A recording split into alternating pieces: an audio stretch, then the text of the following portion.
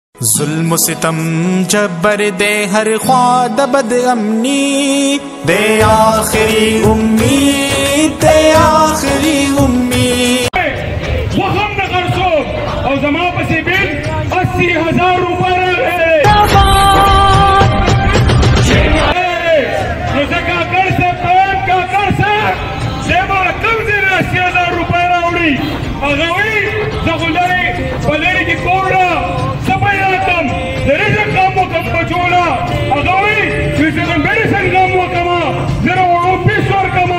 زه څه وکړم نو په دې وطن کې چې محترم سراج الحق صاحب اعلان کړی دی هر بازار بند و پایګام و جماعت اسلامي ضلع بنیر نن دا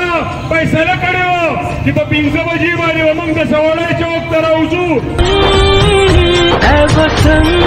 ټول جوډیشري او چې څومره ادارې دي مونږ یې ټول په شریکه په دې پنځه کاله کې ولوټلو په دې وجه اوس دا وخت تقاضا کوي چې په دې وخت کې واحد قیادت دا د جماعت اسلامي دی چې پر روان الیکشن مونږه د ایوم احتساب په تور باندې مناو کو او د دې ظالمانو نه د خپل ملک خلاص کو او ان شاء الله تعالی زه په یقین سره تاسو ته دا خبره کوم چې زمونږ دلته د جماعت اسلامي حکومت راشي نو دلته به تاجران خوشاله دلته به کارخانهدار خوشاله دلته به مزدورکار خوشاله دلته به طالب علمان خوشاله دلته به سرکاري ملازمین ان شاء الله تعالی خوشاله